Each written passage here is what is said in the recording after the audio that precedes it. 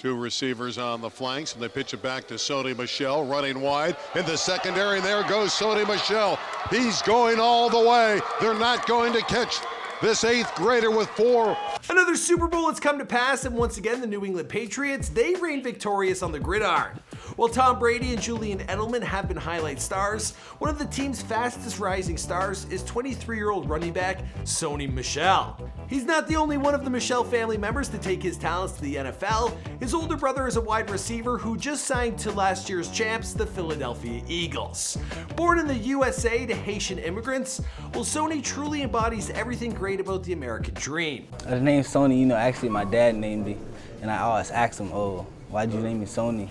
And he told me, you're gonna be rich one day. And I guess, you know. Graduating from the University of Georgia in 2017, he was selected by the Patriots in the first round of the NFL draft. The New England Patriots select Sony Michel. At the time of this recording, his social media following, it includes 112,000 followers on Twitter, as well as 350,000 on Instagram. And with the team's victory against the Los Angeles Rams just last Sunday, well, things are only gonna get a little better from there. You know what I mean? Them girls be watching the big win. The man's got a ring. They be giving him a follow. I don't know why my voice got all husky there. Let's move on. Sony Michel was born on February 17, 1995 in Plantation, Florida. That's uh, in the Miami metro area. Now his parents are originally from Haiti. Sony's mother Marie, she came over to the USA on a tiny boat with 13 other people. Working as a housekeeper, she eventually met Sony's dad, Jean-Michel. When she finally became financially stable in America, well Marie, she brought her young daughter Lamise over from Haiti. Now being from the Caribbean, Sony's parents, they knew very little about American football. His mother, she actually recalled being quite nervous watching her son on the field. She stated, in Haiti, we play soccer. We don't know anything about football. When Sony's playing running back and has the ball, everybody's tackling him. Me, I want to jump on the field to get my son.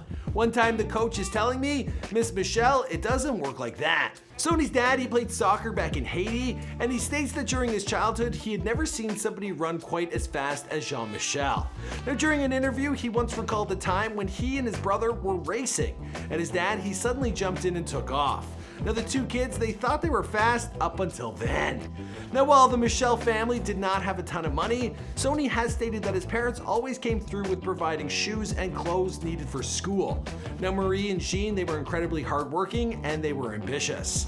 Now according to sources, Sony was athletic as a child, originally focused on soccer. He was introduced to football by his older brother Marken. My brother actually played offensive line together because we wasn't as talented as we thought. At the age of seven, Sony hit the field for the first time as an offensive linesman. He and Marken, well, they would play together around the neighborhood, and he stated, me and my brother played guard and tackle. I had number 70 and he had number 71.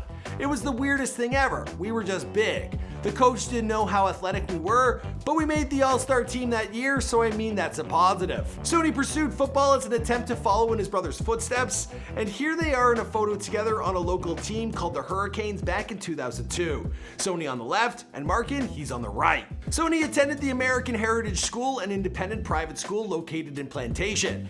He began playing as a running back for the school's football team, which are weirdly enough called the American Heritage Patriots. Now this was in the 8th grade. In Sony's senior year, he had rushed over 1,800 yards, and he was also active in track and field. Yeah. Pump. Let's go. You got him. Pump. You got him. You got him. Good job. In 2014, Sony moved on to the University of Georgia where he played for the Bulldogs until 2017. During his tenure at Georgia, well, he rushed over 3,613 yards and made 33 touchdowns. A running back's goal is to try to get 2,000 yards. Two stacks is 2,000, 2,000 yards. So he just started calling me two stacks and then now we actually found an old video of Sony during his time at the university, and apparently he goes by the name of Two Stacks. Not bad. In the video, Sony can be seen in a studio laying down a track with his brother Marken, adding backup vocals. It's all about finding the right beat.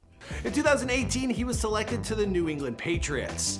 Alright guys, this one was short and sweet because here on the second channel we're making some different videos. Some will be long, some will be short, some will be before, some will be afters. We're trying to feel out what you guys want more from us here on this channel. We're also going to try some new stuff. So if you're watching this video, this is clearly on my second channel. Be sure to subscribe and I'll see you guys in another video. Thanks. Fuck!